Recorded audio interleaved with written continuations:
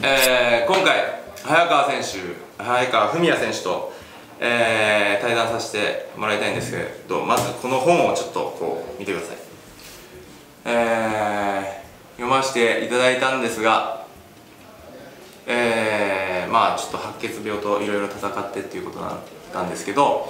えー、早川選手のキャリアを伝えるとアルビレックスユースだね、はい、で、えー、ユース世代のその日本代表のアンダー17にも選ばれて世界大会、え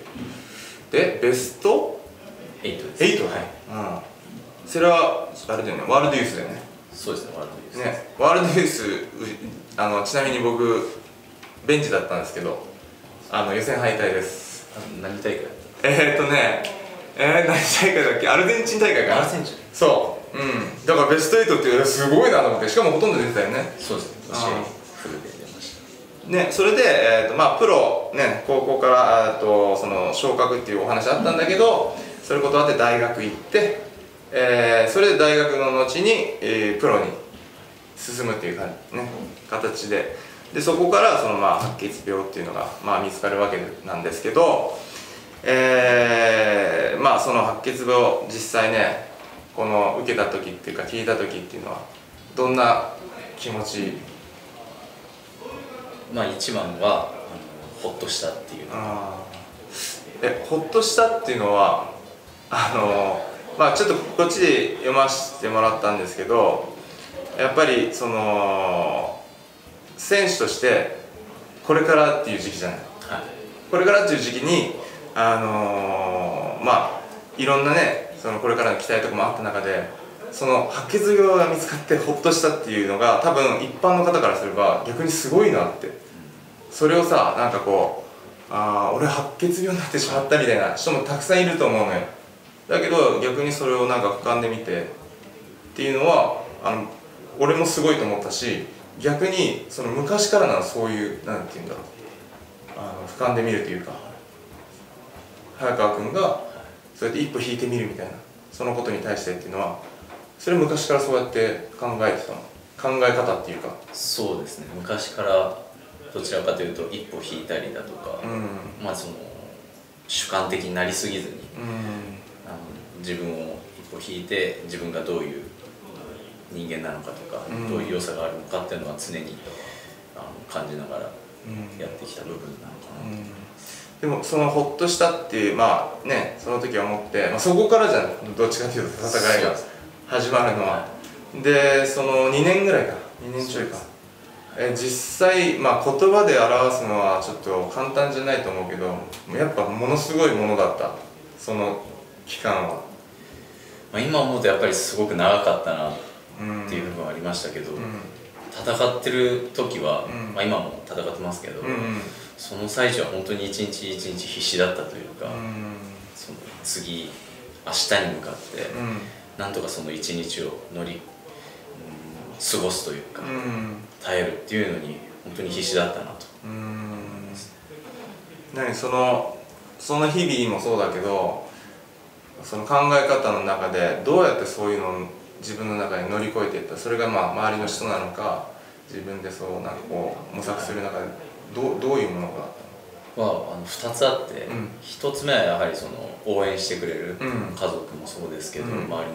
サッカー関係者の、うん、アルビレックス新潟サポーターもそうですけどそうやって応援してくれる方がいたから、もう一度頑張ろうって思えたっていうのはものすごく大きな一つ、でもう一つはやっぱり自分自身の中に、やっぱサッカーやりたい理由って何なんだろうって自分で改めて考えた時に、やっぱり周りの人と協力して勝利を目指すことであったり、いろんな人と喜びを分かち合うとか悔しさを分かち合うっていうののやっぱ素晴らしさっていうのを改めて感じた時に、やっぱりもう一回サッカーやりたいなっていうかその、そういう素晴らしい思いとかを共に共有できるサッカーっていうのをもう一度やりたいなって思えたので、その自分の中のそのサッカーに対する思いと、周りからの支えっていうのがものすごく自分自身戦う大きな力になったなと思います。なるほどね。闘病生活の中で一番しんどいと思った時何？まあ僕が一番その治療できつかったのは移植の前後があきつかったですね。たそれは何がきつかったの？まずあの移植の前は抗がん剤治療と放射線をやるんですけど、ん。その抗がん剤が結構強いもので、うん。最後の移植の前っていうのはなんていうんですかね自分の体の細胞というか、うんそのものをゼロにしなきゃ移植できないので、うん。そこで結構きつい薬を使ったので、その薬自体がやっぱものすごくきつかったな。ああそうなんだ、えー。何気持ち悪くなったりとかも。そうですね、ああそうなんだ。はい、なんで朝起きて一発目に吐いちゃったりとか、うん。うん。こんなにきついんだあそうなんだ。ありましたえそれってどのぐらいその続いたの？そのなんだろう。抗がん剤治療でそのきつい時間ってどんくらいだった？その。は12週間なんですけど、それも毎日そんな感じなの？毎日はい。そうですね。きつい時はきつかったですね。ああとさそのちょっと読ませてもらったんです無菌室でっていうのあったじゃない？その無菌室でやっぱものすごい隔離されてる時ってあれでもどういう心境なの？本当孤独っていう言葉がぴったしだなと。あ本当に家族も、まあ、見に来てはうん見舞いに来てはくれるんですけど、うん。そのガラスを隔ててうん。話す、また電話で、うん。あの話さなきゃいけないこともあるんで、うん。あの本当にその直接今こうやって面と面で向かい合える、うん。そしてコミュニケーション取れるってことはどれだけ人間にとってというか、うん大切なのかとかそういうありがたさみたいなのをものすごく感じて。あーそういうことね。なんでものすごくその無菌室にいた時はものすごく寂しかったし、精神的にもものすごく一番辛かった時期、まあ闘病生活経てえまずはその普通の体になるところまでがものすごくしんどかったでしょその。そうですね。あの普通の体というか僕自身退院したんですけど、うん。なかなか自分の細胞が思うようにまだあ100%そのう安心と言える範囲の数値ではなくて、んうん。ずっとモヤモヤが続いてた段階と、うん。そこから歩いたりするのでさえ足がパンパンになる時期もあったので、へ正直その時期も外には出れるようにはなったんですけど、うんうんまだ何かそのなんだろう足かせがあるというか、うん。すごいモヤモヤしたうん時期でしたね。でなんかそのなんだろう最初ユースと一緒にやってたんだよ、はい。ユースの人たち。とでなんかこうさやっぱ自分がこうなんていうの？今までの自分と違うじゃない。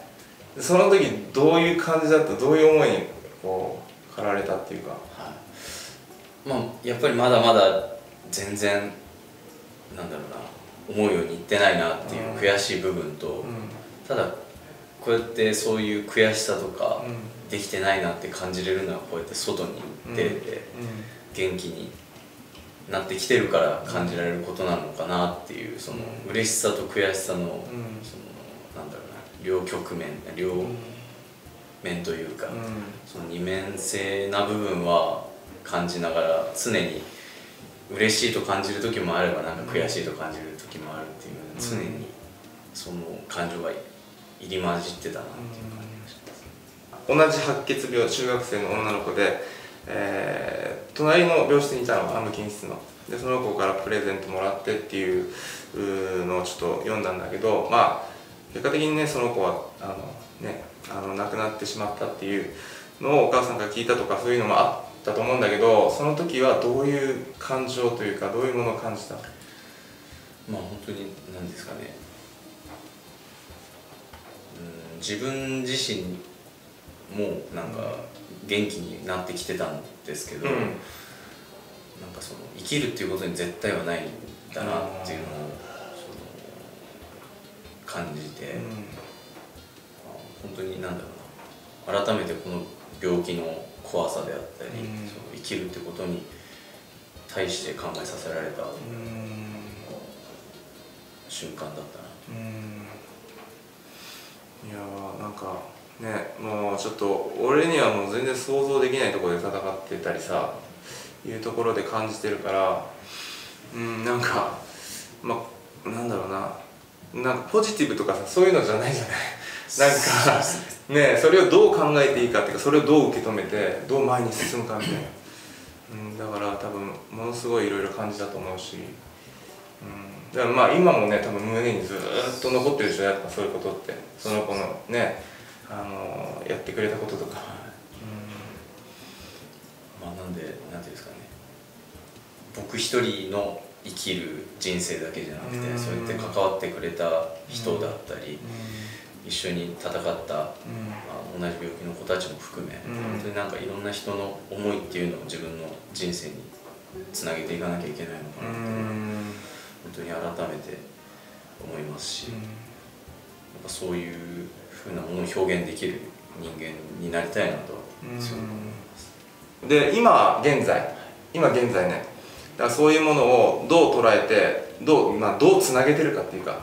今現在はどう思ってる？そのいろいろあったさその2年間はすごく自分にとって、まあ、しんどかったかもしんないけど貴重な時間だったのかどういう時間だった？その今捉えてみれば。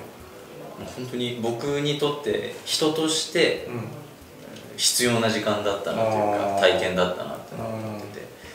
あのサッカー選手にはその入団した時になりましたけど、うん。その誰に勇気を与えるとか、うん。どういう姿勢で取り組むかっていうの正直今になって気づくと曖昧だったなっていうふうに思ったので、実際にこうやって病気になって、うん。いろんな辛いことだったり、うん。周りの人に支えてもらえるありがたさだったり、うんまた例えば同じような病気の人のためにとか、うん。そういういろんな思いを感じることだったり共有することができてより自分自身そのサッカー選手としてどうありたいかとか、うん。人としてどうありたいかっていう部分は、あのしっかり考えさせられたその時間だったのかうーん。まあこのなんか人としてっていうのは僕もすごく、まあ、サッカー選手としてもそうなんだけど今現役でねまだお互いやってるし人としてっていうのはすごくあの僕も共感できるとこがあって、まあ、長くやらせてもらったからこそ感じることもあるんだけどでもそうやってねいろんなものを乗り越えてきたからこそ多分すごくあの言葉に重みあるしまあいろんな人にあの、まあ、病気をこう乗り越えてっていう早川君だけど、まあ、それだけじゃなくていろんな人にねあの本当伝わる今重い言葉をもらったので、えー本当にありがとうございます。最後に、えーまあ、いろんなことをねあの早川君の中で乗り越えてピッチにね、えー立ってたと思うんだけどその時はもうどういう思いだった？なでも本当に周りの人への感謝とうん。自分自身楽しみたいっていう思いはあったんですけどやはりあの緊張とかうん。不安っていう部分もあって、なんか試合に出たらずっと楽しい思いでうん。出れるのかなと思ったらそういういろんな感情も出てきて、うん。だからこそなんか本当にサッカーって楽しいなとか、うんなんかそういうなんだろう何かできるって楽しいなっていうふうなことを改めて感じれた瞬間だったなと、いや本当に貴重な言葉本当ありがとうございます。もうたくさんの人が励まされると思うのでこれで、ありがとうございまし。た